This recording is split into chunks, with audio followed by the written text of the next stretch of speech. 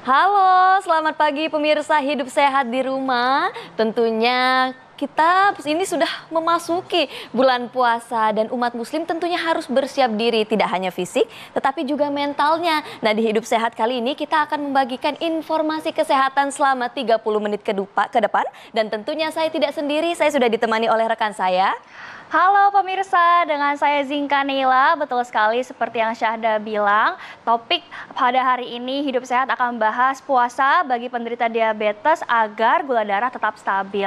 Dan kita juga akan mengulik pemirsa manfaat-manfaat dari berpuasa bagi penderita diabetes dengan narasumber yang luar biasa tentunya ya Syahda. Ya betul sekali Zizi. Nah kebetulan kita udah kedatangan ahlinya nih dengan Dokter Wisman dari Wisnu. Halo selamat pagi dokter, dokter spesialis. Nah dokter kita langsung saja ke Fakta mitos yang pertama dokter, katanya pada penderita diabetes mengkonsumsi makanan dalam jumlah banyak dalam satu waktu dapat beresiko meningkatkan kadar gula darah. Apa 14 jam karena nggak makan sama sekali, tiba-tiba diisi dengan banyak yang kadang-kadang kita suka lupa daratan ya, berlebihan makan melesat. Gitu. Berarti kita harus Porsinya memporsi ya, juga ya. Betul, ya, dok. betul. Masalahnya pun berpuasa harus tetap diporsiin makannya jangan uh, pas buka puasa dimakan semua uh, uh, gorengannya es-esannya ya nah ya. Nah dok ini kan yang menjadi pertanyaan gimana nih dok kemudian bagi para penderita diabetes untuk ngatur cara makannya? Tadi disebut Mbak Zizi ya gitu.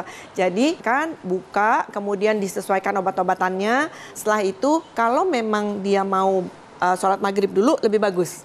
Jadi perutnya nggak terlalu kaget gitu. Kan ya itu tadi ingat jumlahnya dan porsinya tapi Nah, dokter kalau misalkan seperti itu, dok, berarti apakah memang ada uh, perbedaan untuk tipe uh, diabetes penderita diabetes tipe 1 atau tipe 2 itu apakah ada makanan-makanan perbedaan treatmentnya gitu, dok? Baik, itu pengobatannya beda-beda ya. Kalau tipe 1 obat. Masalahnya tipe 1 itu karena pengobatannya insulin. Baik, gitu. Jadi sama, penanganannya sama. Tipe apa pun sama. Makannya harus pelan-pelan, jumlahnya seporsi. Ikutan nih dok. Katanya mengkonsumsi uh, penderita diabetes harus mengkonsumsi uh, makanan 14 jam nggak ada asupan apa pun, termasuk air.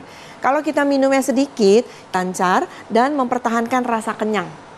Kalau kita makan seratnya sedikit, ditambah makan manisnya yang banyak, hmm. kita cepat lapar. Iya. Cepat lapar, cepat haus gitu. Kalau nah, cukup. Eh, jadi benar-benar ya dok ya kalau serat itu bisa menjaga kadar gula gitu ya dok ya. Betul. Nah tapi dok ini bagaimana? Apakah penderita diabetes ini harus membatalkan puasanya kalau misalnya kadar gula darah di dalam tubuhnya bisa di bawah 70 mg per desiliter mm -hmm. atau lebih tinggi dari 300 agak tinggi sedikit deh daripada dia rendah. Jadi di bawah 70 itu angka angka dari ya? tinggi sekali juga nggak boleh di atas 300 juga kita sebaiknya membatalkan puasa. Apalagi diiringi dengan keluhan-keluhan. Misalnya pus terus, lemas gitu ya, kita haus terus rasanya. Bilang kan yang penderita diabetes tipe 1 tuh disarankan untuk tidak berpuasa. Tapi ya. gimana dok kalau misalkan uh, seseorang itu sangat ingin melakukan ibadah ya. puasa? Kita akan bahas setelah tayangan yang satu ini. Baik.